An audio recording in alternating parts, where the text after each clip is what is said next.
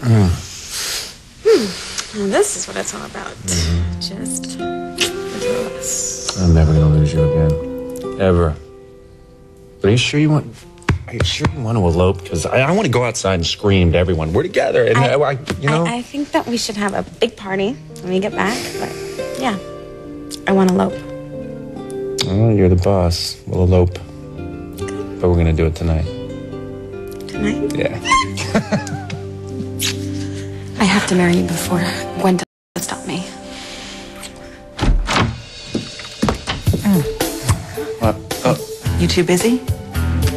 Um, does it look like we're busy? What? Sorry to uh, barge in like this, but uh, I have something to say.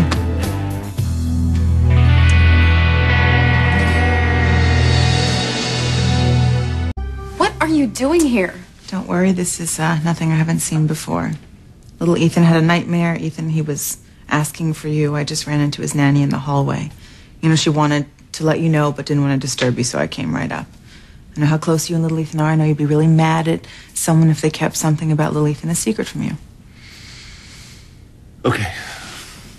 Thanks.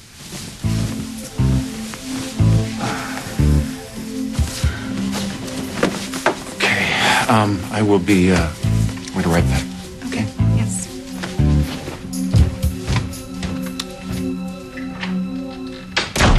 What are you up to, Gwen? I wouldn't take that tone with me if I were you.